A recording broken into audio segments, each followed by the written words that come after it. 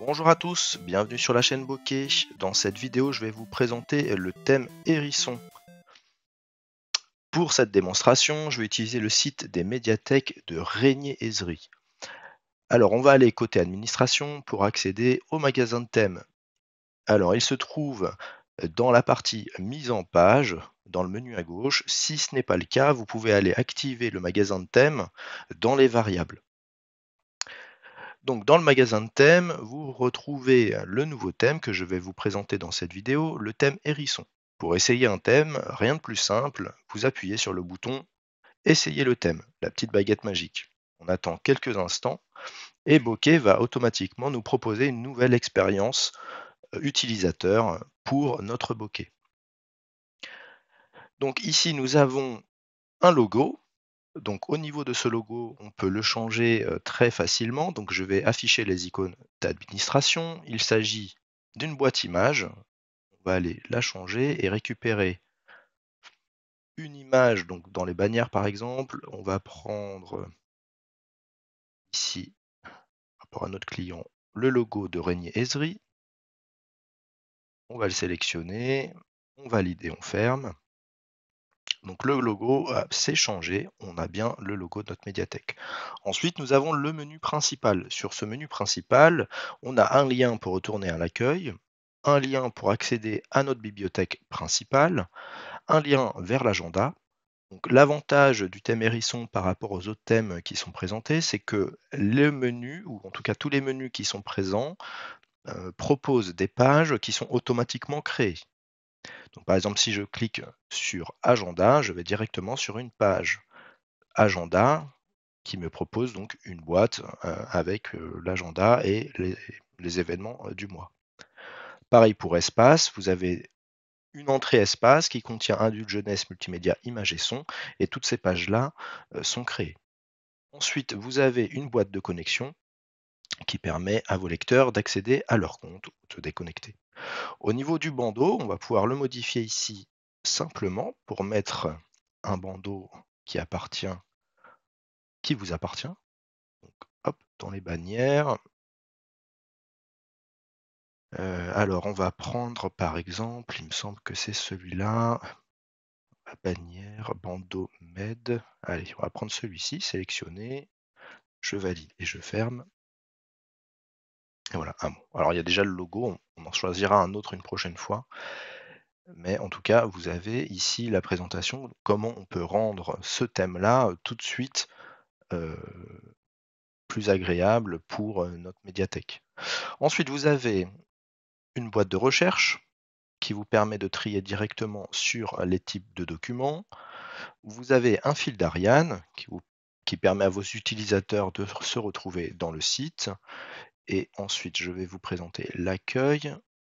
On a une boîte actualité, une boîte nouveauté, donc il s'agit de, de notices, donc avec une disposition en mode mur, les derniers avis. Et enfin, dans le footer, on retrouve un logo donc euh, qu'on peut aller euh, modifier, une boîte concernant euh, la médiathèque, un lien pour aller vers le formulaire de contact, un lien pour aller vers un article concernant des mentions légales. Donc à noter que l'article est pré-créé, c'est-à-dire que vous pouvez vérifier que ces informations-là sont bonnes, mais c'est un, article tout à fait euh, viable. Également l'accessibilité, à savoir que le thème hérisson a été spécialement conçu pour avoir euh, une, attestation de conformité RGDSA euh, optimale. Donc cet article est déjà préparé. Et enfin, vous avez ici une petite boîte bibliothèque avec la carte pour accéder à votre bibliothèque. Je vais vous présenter maintenant un petit peu la recherche au niveau du design. Donc, je vais par exemple chercher espace et univers. Et vous avez aujourd'hui une recherche qui est comme ceci. Voilà pour le mode liste et pour le mode mur, pardon, on est comme ça. Alors, je vais vous présenter aussi la fiche bibliothèque. Voilà à quoi ça ressemble. Vous avez un onglet Tout, Ouverture, Information, ainsi que l'agenda. Et si je vous montre un compte, donc là c'est le compte de l'administrateur, pour avoir un peu plus d'informations. Donc les différentes informations du compte courant, les prêts en cours, les réservations si j'en ai, les suggestions, les différentes sélections si j'en ai, les recherches suivies, l'historique de recherche et les configurations si je veux ajouter des cartes d'abonnés, etc.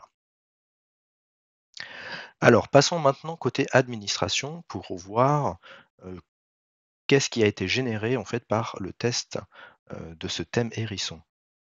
Donc, on retourne dans l'accès pro. Donc, au niveau des articles, vous allez avoir sous le dossier portail un nouveau dossier qui s'appelle magasin de thème dans lequel le hérisson aura créé différents articles. Alors là, j'ai fait plusieurs tests, mais en vérité, il n'aura créé qu'une seule fois l'accessibilité et qu'une seule fois les mentions légales, ce qui fait que vous pouvez aller directement modifier les articles concernés. Au niveau des profils, vous allez retrouver un profil par an, le 73 ici, accueil, et toutes les sous-pages qui ont été créées automatiquement euh, par le thème, que vous pouvez donc personnaliser euh, ou tout simplement euh, jeter. Voilà pour cette vidéo, j'espère que ça vous aura plu et je vous dis à bientôt sur la chaîne Bokeh.